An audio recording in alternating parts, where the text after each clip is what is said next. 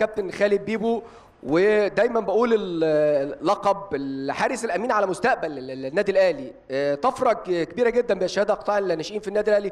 شفنا اللعيبة اللي صعدت في أو لعبت في الكأس الرابطة وقت احتياجها. آه، طمن الجماهير النادي الأهلي إن وقت ما يكون ما تحتاج قطاع الناشئين هتلاقيه موجود. أيضا الطفرة اللي بتتم على آه، مستوى البنية التحتية. كابتن خالد تحياتي الكابتن أسامة حسني. كابتن ماهر همام كابتن محمد حشيش. وألف مبروك النهارده على الفوز وتصدر الفريق للبطولة. الله يبارك فيك. بس معلش هناخد الولاد الأول عشان ما حدش بس يبرد. لاعبين ماتش خدهم وخلينا في الآخر. معلش. طيب يا كابتن يلا يلا. أروح يا كابتن أسامة مستمرين معاك التوأم. آه، اثنين نجوم المباراة حسام وإبراهيم. خلينا نبدأ الأول. 17 إبراهيم أنت إيه بقى؟ حسام إبراهيم برحب بيك على شاشة قناة النادي الأهلي. تحيات الكابتن آه، أسامة حسني كابتن ماهر همام الكابتن محمد حشيش. مباراة كبيرة النهارده وكان فوز مهم جدا على فريق المقاولون العرب يا إبراهيم. يعني أول حاجة تحياتي لجوم الاستوديو كله والحمد لله يعني على الفوز النهارده. مباراة كنا مستعدين مستعدين لها من بدري عشان دي المنافس لينا القريب.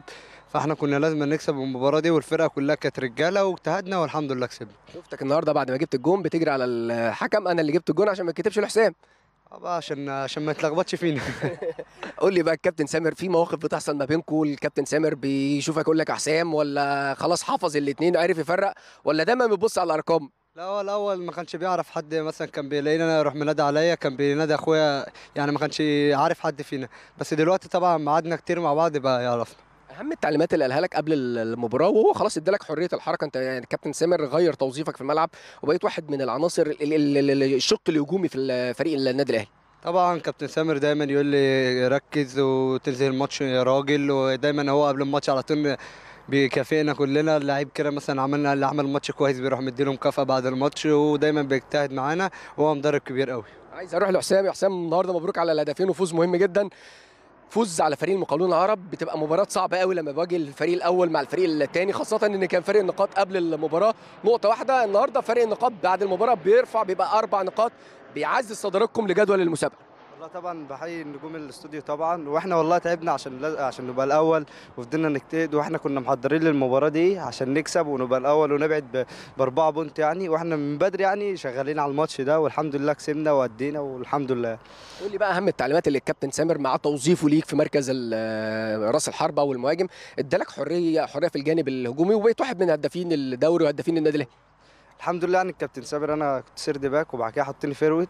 فهو دا- دايما بي بيقول لي هتكسب وهتجيب أجوان وأنت اللي هتكسبنا. دايما بيحمسني يعني قبل المباراة وكابتن سامر يعني بيشتغل معانا كويس قوي هداف الدوري بكام هدف دلوقتي يا حسام؟ وعايزين يعني إن شاء الله تألق يستمر مع منتخب مصر. الحمد لله يعني أنا جايب 11 هدف فيعني الحمد لله كله بسبب الكابتن سامر والكابتن أحمد رؤوف وتوفيق ربنا.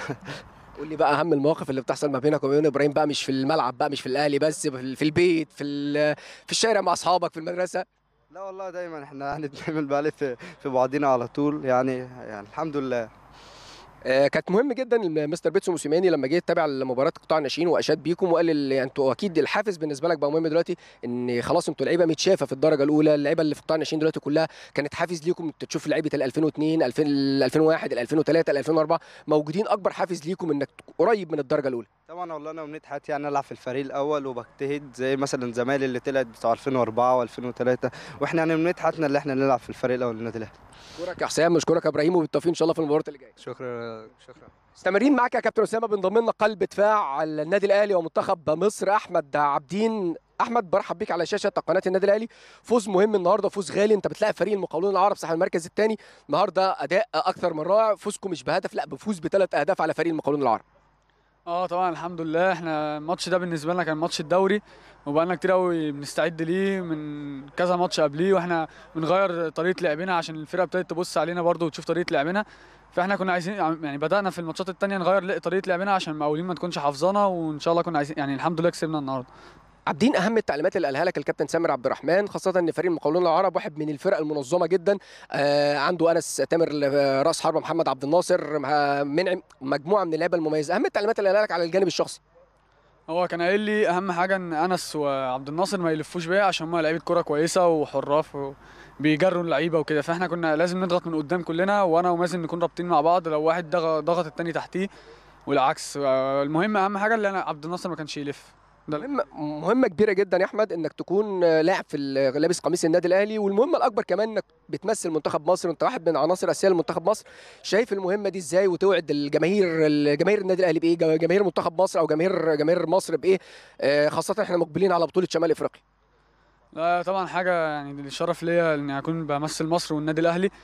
وطبعا آه، البطولة هتكون صعبة جدا وان شاء الله هنروح نكسب بس أنا عارف ليه هتكون صعبة ومحتاجة جهد كتير قوي مع كابتن محمد وهبة والجهاز الفني كله بتاع المنتخب وإحنا خلاص هنبدأ معسكر من يوم الأحد الجاي وهنبدأ تمارين عشان نجهز للسفر أنتوا كلعيبه بقى في المنتخب لعيبه الأهلي مع لعيبه المقاولين مع الزمالك الروح بينكم بتبقى إزاي ودي ده مهم جدا خاصة في في هذا يعني في التوقيت ده لا إحنا كلنا يعني اصحاب قوي. يعني أكتر من صحاب إخوات كمان وطبعا في المنتخب كلنا يعني إخوات مع بعض وبنلعب كلنا مع بعض وكلنا أصحاب قوي يعني.